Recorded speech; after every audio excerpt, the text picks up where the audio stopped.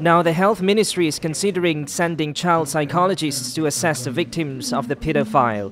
The assessment would be conducted in a way that would not traumatize the children. So I think uh, that is something which we look into and uh, ask uh, our medical uh, uh, child psychology team to probably do an assessment to see to what an extent these children are affected.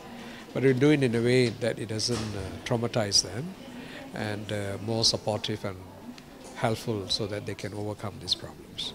Dato Sri Subramaniam also advised parents and guardians to come forward and report to the authorities if their children had been a victim of sexual abuse.